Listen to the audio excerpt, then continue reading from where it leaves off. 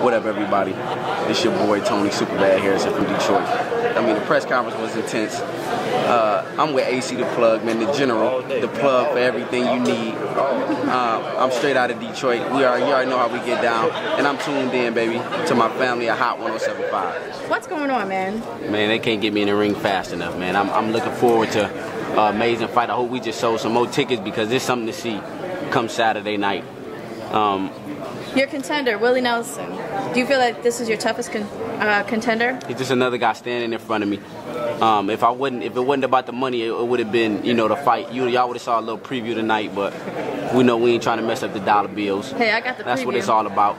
HotHipHopDetroit.com. Yeah, man, it's it's man, it's it's, some, it's something to see, man. I just need everybody to tune in, man. I, I ain't for that. I ain't for no pillow talking. I'm straight out of Detroit, and you know when you get me there, it's kind of like I want to go there, but you know what I mean. If, if this was six years ago, I would have hopped over the table, but I, you know I'm a little more mature, and I'm waiting for Saturday night, man. I'm waiting for Saturday night to come, and I'm ready to put on a show for everybody. It's a knockout. Knockout. All right. I, so, I won't settle for nothing less. Uh, Thurman and Collazo. Who do you have? I got a good fight, man. You know, Louis, Louis is my man. He, he trained at in Detroit at Kronk a couple a couple years ago. I got the chance to spar with him. Got a chance to work with him. Willie, his trainer, is my guy. Uh, anytime it's a sparring camp, and you know they, they, they call guys from Detroit to fly in. So so Willie is my guy, man. But you know, Luke, Keith Thurman comes with a lot of youth, a lot of power, and I just think it's, it's experience versus youth. You know what I mean? And youth and power, and you know I, I just hope it's going to be as, as exciting as the co-main event. Now, speaking of exciting, I've heard you say that you're going to be Mr. ESPN. Is this true, and why? Uh, man, I'm, I'm Mr. ESPN. You know, I, my last three fights has been on ESPN. ESPN has called me back to back to back fights, and I'm, I'm looking forward to another ESPN on PBC, the biggest ESPN show thus far. ESPN, the biggest national broadcaster for sports in the world. And I'm, I'm just looking to make my, my debut to the world. I'm looking to, I've been on ESPN three times in a row, and I'm looking to keep going. Hopefully, they, they, they they, they franchise tag me and, and, just go in and give me the money and I won't go nowhere else. I ain't mad at it. Tony Harrison is, is the next guy to watch, man. He, he, he, comes with a lot of style, a lot of swag.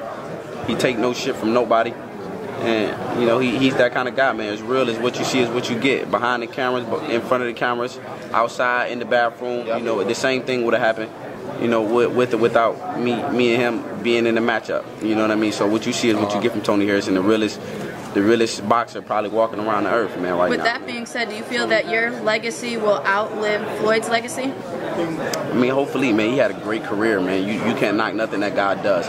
You know, he had, he had a very very stellar career. He fought the likes of everybody. You know, if I'm lucky enough and blessed enough to stay as healthy as him, um, and hopefully compete as long as him, then you know you, you never know. But my focus is July 11th. Willie Nelson and, and, setting my pace and setting my mark and my legacy starts there. Switching gears, I hear that you coach a football league in Detroit with your cousin uh, who plays for the Chargers.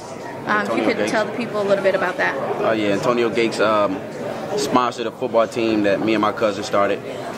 Um, and, and, a couple of, uh, other family members. And, you know, last year um, we got the opportunity to actually come here in Florida. This is where the Nationals is hosted and we, we ended up, you know, winning the whole thing. And you know, it's been three years since we've been since we done lost. And you know, I teach those the group of guys that I coach, man. I've been having the same group for three years, and I teach them, you know, how to work hard, man. And if you just put it, put your all in it, you know what I mean. You you give it your best.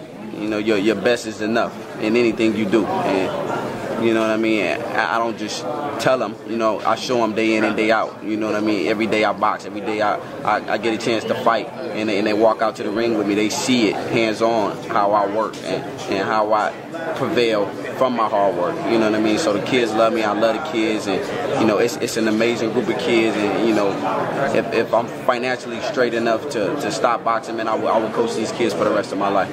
Do you have any previous history playing football? I played football, man, all my life. I played for the West Seven Rams.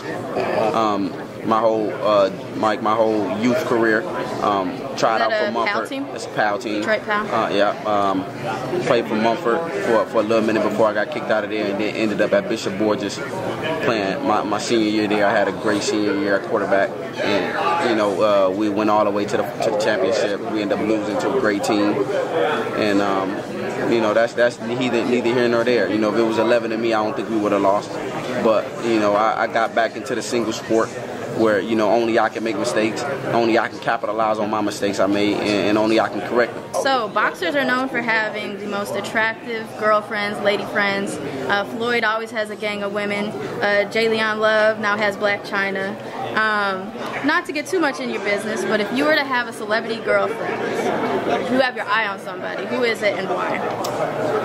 Um, I don't need no celebrity girlfriend, man. I, I just need I just need a, a humble girl, you know, um, a doctor, um, somebody that graduated from college, somebody that got their head on straight. You know, I don't, I don't need nobody that's, you know, it's already enough enough for me to come out every single day and say, you know, hey Tony, hey Tony, but you know, for two of us, you know what I mean, it, it would be double the trouble. You know what I mean? I'm so low key. I do this. I do boxing because I love it. You know, I, I, don't need a celebrity that's a host.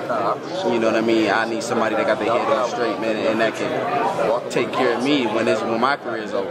You know what I mean? So uh, maybe a doctor from Michigan. Um, career after boxing. I want to coach football, man. I want to coach football, maybe coach boxing, maybe mentor, start my own gym. Um, and I, you know, I just want to change the city, man. My, my, my view is for the city. You know, everything that I do is to improve the city. You know, the city of Detroit, which so badly needs it. You know, so anything I can do to help the city and generate from it, or, or you know, generate positivity for it, that's what I want to do.